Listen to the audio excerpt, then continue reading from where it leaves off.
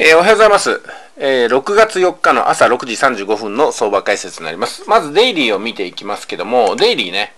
大きくここ伸びましたね、上の方に。それまではずっと横ばいだったんですけども、やっぱブレイクしたなっていうところでございます。で、昨日もなんですけどもね、ブレイクの瞬間をお届けしていて、えー、非常に参考になったというメッセージをね、結構いただきました。4時間の方を見ていきましょう。まあ、ですんで、この横ばいとかレンジが始まった時っていうのは、これレンジですけどね、ここがレンジになってますけども、横ばいとかレンジっていうのはブレイクの本当一歩前なんで、えー、なかなかね、ブレイクの瞬間に立ち会えることってないと思いますけども、あこういうもんなんだってことを覚えておいてください。今ここでお勧めしたのがブレイクの瞬間なんですね。で、このブレイクに向かうべきレンジっていうのをどういうふうに作っていくかっていうと、まずこちらを結んでいくわけですね。まあ、この辺でもうレンジができてるんじゃないかなって感じでいかなくていけないんで、毎日放送してるわけなんですよ。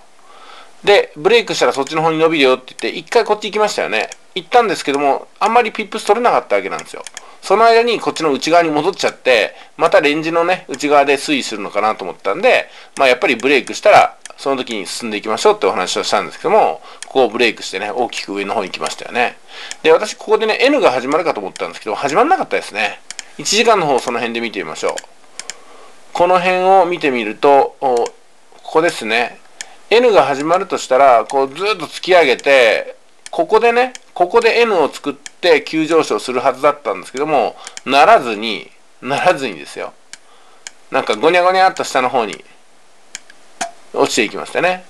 で、えー、大きな躍進のきっかけがこの下髭です。この下髭を起点に、まあまあ大きく上がっていきました。ということで、ネックラインは超えたわけなんですけども、これね、N みたいにスパーッと超えたわけじゃないんで、まあ、こっからね、またレンジが始まるんじゃないかなってことをね、考えていかなくてはなりません。あのー、警戒しなければ。ただ、移動平均線は順調に上昇してますよね。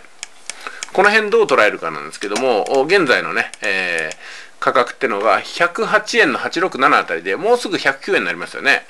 うん、順調に伸びてます。108円、109円の方向に伸びるよというふうな形でお話したことが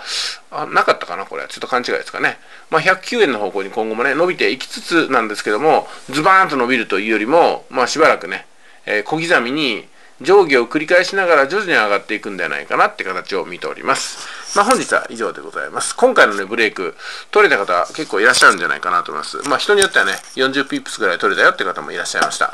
じゃあ、今日も注目の相場、やっていきましょう。